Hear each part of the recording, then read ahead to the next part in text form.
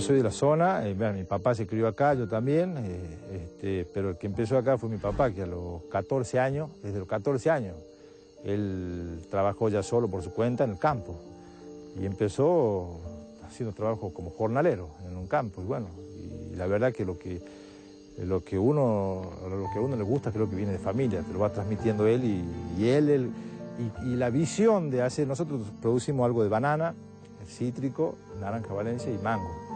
Y la visión de, de tener otra alternativa siempre, la diversidad de cultivo por, y, en las distintas épocas que salen, yo creo que son méritos de él, ¿no? De él y, incluso te digo, el cultivo del mango hoy por hoy aquí en Argentina y que yo tengo entendido por la gente del INTA que son cerca de 300 hectáreas las que hay. Eh, y acá, aquí nomás tenés 130, o sea que creo que más mérito de él, si es que el día de mañana se llega, se llega, llega así, porque es una línea alternativa, es una línea alternativa más que nada por la época. En esta época en la zona, de noviembre a marzo no se hace hortaliza, hay un poco de banana que sale en esa época y tampoco hay cítrico, no hay pomelo, no hay naranja, no hay limón. Entonces, digo, una línea alternativa tanto para la mano de obra, para lo que genera mano de obra y también como, como productor eh,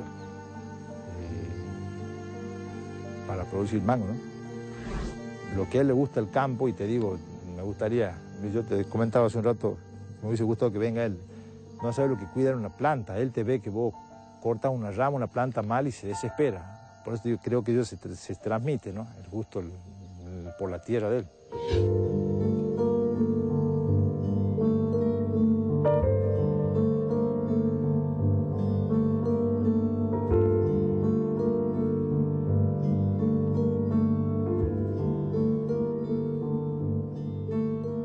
Yo creo que tendrían que enseñarle a todos los chicos eh, o mostrarle para que sepan lo sano que es, lo, que, lo, que, lo sano que es la naturaleza y el, campo. La verdad que uno, vos salís de una ciudad, y eso que donde yo vivo, una ciudad de no es grande, y estás en el campo es otra vida. La tranquilidad, eh, el respeto de la gente, la humildad de la gente, eh, lo sano, la falta, lo, que no hay vehículos, ni todos esos temas. Te digo, el aire que vos respiras eh, yo creo que la verdad que eso había que inculcarle y enseñarle a todos los chicos, ¿no? Lo que es el campo, las plantas, los montes, todo, los montes.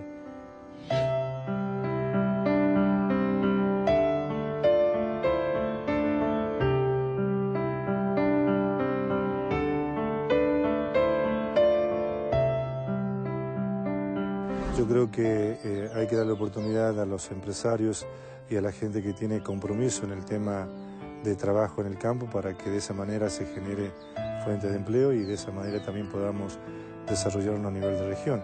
Es muy importante que coincidamos en los objetivos comunes y en los desafíos que vamos a enfrentar. Creo que es el único camino viable para dignificar la vida de nuestra gente. Bueno, yo te digo, la experiencia mía desde chico, yo te cuento, mi papá se fue sin, tuvo un problema en su casa de los 14 años se fue y vivió de la, tierra. Y hoy en día, te digo, somos siete hermanos y tuvimos la oportunidad de siete de estudiar, así que imagínate si respondo tu pregunta, si se puede vivir de la tierra. Y te digo, no tiene ni mil hectáreas ni diez mil. Lo que yo te cuento aquí, lo que tiene acá, y el mango y el cítrico y, nada más que cuidándola y viviendo ahí, ¿no? Estando ahí todo el día. La tierra para nosotros desde eh, culturalmente y tenemos una importante población este, aborigen, originaria, le tenemos mucho respeto a la tierra. Primero por lo que nos da, por lo que nos sirve y fundamentalmente por el lugar donde estamos viviendo. O sea, es necesario hacer un reconocimiento a todos los que nos brinda y fundamentalmente trabajarla con respeto y con disciplina.